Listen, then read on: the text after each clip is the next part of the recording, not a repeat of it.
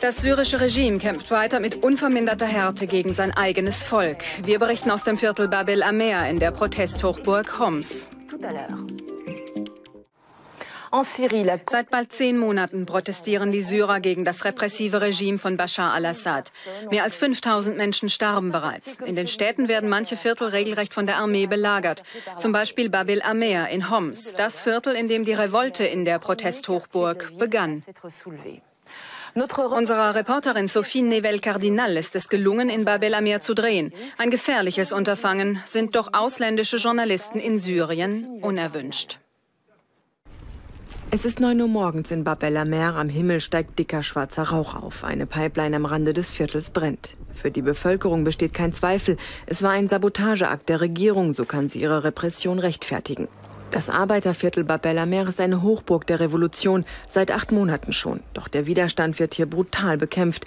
Das Viertel ist belagert, es ist ein täglicher Kampf ums Überleben. Es fehlt hier an allem. Milch für die Kinder, Medikamente. Wenn wir keine Milch haben, geben wir ihnen Joghurt mit Wasser, Tee oder Zuckerwasser. Auf der anderen Seite eine Straßensperre der syrischen Armee, ringsherum zerstörte Häuser. Zwei Tage zuvor griffen die Panzer der Armee an. Die Einwohner konnten fliehen, erzählt man uns, aber nicht alle. Um 11 Uhr gedenkt man in Bab el-Amer den Toten, ein fast schon alltägliches Ritual. Unter den fünf Opfern ist eine 24-jährige Frau. Sie war schwanger und Mutter von vier Kindern. Ihr Bruder will sie zur Märtyrerin erklären, getötet von der Armee der unerbittlichen Regierung. Meine Schwester kam von der Arbeit. Sie wollte nur kurz einkaufen gehen für die Kinder. Sie hat an keiner Demonstration teilgenommen. Es ist Mittag in Bab el Amar. Über eine Stunde dauert der Trauermarsch bereits. Er ist auch ein Mittel, um die Repression des Regimes anzuprangern.